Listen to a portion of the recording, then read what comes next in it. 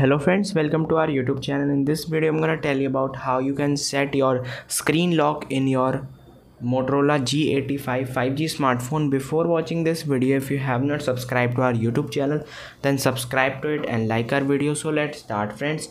First you have to open your settings.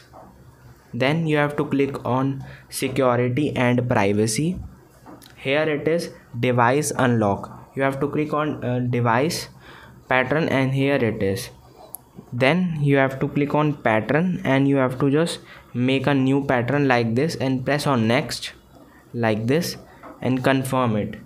And you can see it is set.